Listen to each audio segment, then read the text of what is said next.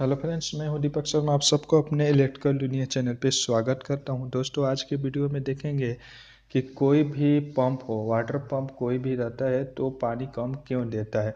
उसका क्या रीज़न हो सकता है? मान लीजिए कि अगर पुराना है, कोई भी वाटर पंप तो उसमें कोई कचड़ा फंस जाती है, या जिससे इसका इनलेट में कुछ भी फंस जाने की वजह से वो पानी कम उठाती है तो पानी कम देती है। बट अगर नया पंप है, फिर भी पानी कम दे रही है तो ऐसा क्यों दे रही है? मेरे पास जो है अभी थ्री फ़ेज़ मोटर है और इसको हम लोग पानी क्यों कम दे रही है और क्यों नहीं, क्या, कैसे ज़्यादा देगी, ये हम लोग देखेंगे। ये लाइव करके आपको दिखाऊँगा कि पानी नया मोटर आता है तो कैसे कम देता है, क्योंकि टू एच का भी मोटर हमारे पास वो प्रेशर से पूरा फुल पानी देनी चाहिए। पर ये कितनी दे रही है? कम? और कैसे कम दे रही है? ये हम देखेंगे और उसको भी सही करके आपको दिखाएँगे। वीडियो को शुरू करने से पहले और आपको दिखाने से पहले से आपसे एक रिक्वेस्ट है कि अगर आप हमारे चैनल पर नए होंगे तो हमारे चैनल को सब्सक्राइब कर लीजिएगा और सब्सक्राइब करके बेल आइकन को ज़रूर प्रेस करिएगा ताकि आने वाले वीडियो का नोटिफिकेशन आपको मिलते रहेगा सबसे पहले। क्योंकि मैं इलेक्ट्रिकल से रिलेटेड वीडियो आपके लिए अपलोड करते रहता हूँ। और लाइक सब्सक्राइब कमेंट्स करने के लिए कोई भी चार्जेस नहीं लगता है तो इसलिए प्लीज़ आप ज़रूर करें। तो चलिए वीडियो को, पहले हम लोग इसका सप्लाई देखते हैं कि कितना मिल रहा है। तो हमारे पास ये थ्री फ़ेज़ मोटर है तो इसको single line two line supply check करें तो टू मतलब सप्लाई हमारा जो आ रहा है, सही आ रहा है, जो आपके अभी देख पा रहे हैं, ठीक है? यानी कि आर, वाई और वाई बी और आर बी में भी चेक कर लेंगे, सारे फेस में चेक कर लेने के बाद हमें सप्लाई चाहिए आ रही तो इसको इसका स्टार्ट करेंगे। और ये जो स्टार्टर है, इसमें जो अगर हमको एमपीएस सेट करना होगा तो एमपीएस सेट कर लेंगे जो रिले के थ्रू है। इसके लिए भी एक स्पेशल वीडियो बनाऊँगा और इसके बारे में भी एक वीडियो बना चुका हूँ ऑलरेडी अगर आप वो नहीं देखें तो प्लीज़ जाके ज़रूर देखिएगा, उसका लिंक डिस्क्रिप्शन में मैं दे दूँगा। इसको स्टार्ट करेंगे कैसे? अभी जो मैं आपके लिए ट्रायल किया हूँ, आप फिक्स नहीं है, इसलिए आपको दिखाने के लिए सिर्फ़ मैं ये ट्रायल दे रहा हूँ, ठीक है?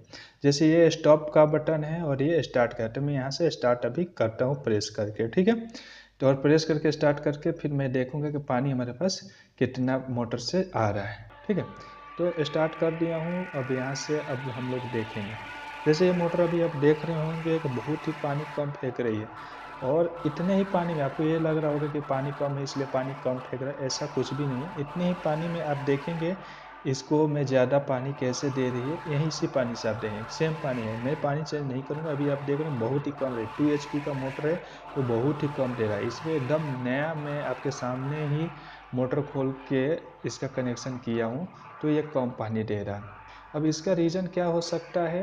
कि ये पानी क्यों कम दे रहा है? ये देख रहा है। अभी इसको स्टॉप करते हैं और फिर आपको समझाते हैं। क्या है? एक्चुअली जब ये थ्री फेस मोटर है और थ्री फेस मोटर में आपको कनेक्शन करना प्रॉपर पड़ता है।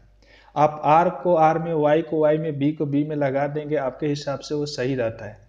पर ये मोटर जो है, इसके हिसाब से कैसे सही होगा? क्योंकि आपके पास जो आर फेस आया है वाई फेस आया है, वो प्रॉपर है या नहीं है कैसे पता लगेगा?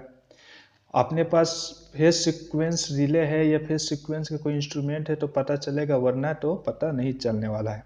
यानी कि हमें क्या लग रहा होगा कि जो हमारा आर वाई बी है, वो जो सीक्वेंस है, वो सीक्वेंस आई थिंक सही नहीं होगा। जो मोटर से का और जो हमारा फ़ेज़ है, उसका सीक्वेंस मैच नहीं कर रहा होगा। हो, इसलिए भी वो क्या हो रहा है, उल्टा घूम रहा है। तो हम लोग क्या करेंगे, दो फेस को किसी को चेंज करेंगे मोटर के साइड में। आर और वाई जो फेस है तो आर को वाई के जगह पे लगा देते हैं वाई को आर के जगह पे लगा देते हैं। इससे क्या होता है, क्योंकि मोटर हमारे हिसाब से वो उल्टा चल रहा है उल्टा चल रहा है, इसीलिए वो पानी कम दे रहा है। क्योंकि टू एच का मोटर कभी भी इतना पानी कम नहीं देता है। इसलिए हम क्या कर रहे हैं आर को वाई के जगह पे और वाई को आर के जगह पे लगा देते हैं, जिससे रिवर्स घूम रहा होगा तो रिवर्स नहीं घूम के फॉरवर्ड घूमेगा मतलब सही डायरेक्शन में घूमेगा। तो गलत डायरेक्शन घूमने की वजह से भी हमारा जो मोटर है वो पानी कम उठाती है। तो हम लोग पहले समरसीबल रहते हैं तो उसको बाहर नहीं निकाल सकते हैं, क्योंकि हर टाइम बाहर निकालना बहुत ही मुश्किल है समरसीबल को। इसलिए हम लोग क्या करेंगे, पहले उसका फेस सीक्वेंस चेंज कर देंगे। और उल्टा जो भी मोटर घूमता है वो बहुत ही आवाज़ करता है, जिसके वजह से इस, हम लोग ये भी समझ सकते हैं कि ये मोटर जो है उल्टा घूम रही है। अगर सीधा घूमेगी तो बहुत ही आवाज़ कम करेगी। अब मैंने कनेक्शन चेंज कर दिया है, अब फिर स्टार्ट करता हूँ और फिर हम लोग अभी देख रहे हैं। ये आपके लाइव दिखाया कि कितना प्रेशर के साथ आ रहा है ये पानी। तो दोस्तों, उम्मीद करता हूँ ये वीडियो से आप बहुत कुछ सीखने को मिला होगा। अगर ये वीडियो आपको पसंद आई हो तो वीडियो को लाइक करिए। अगर आप हमारे चैनल पर नए हो तो चैनल को सब्सक्राइब करिए। अगर कोई भी डाउट है तो हमें कमेंट बॉक्स में कमेंट ज़रूर करें। चलिए दोस्तों, मिलते हैं नेक्स्ट वीडियो में। तब तक के लिए जय हिंद।